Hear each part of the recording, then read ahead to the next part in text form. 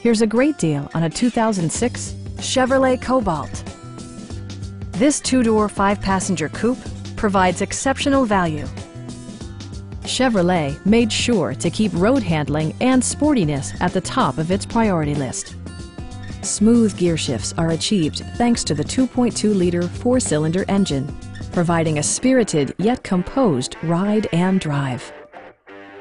Chevrolet prioritized practicality, efficiency, and style by including front and rear cup holders, a tachometer, variably intermittent wipers, a trip computer, fully automatic headlights, and air conditioning.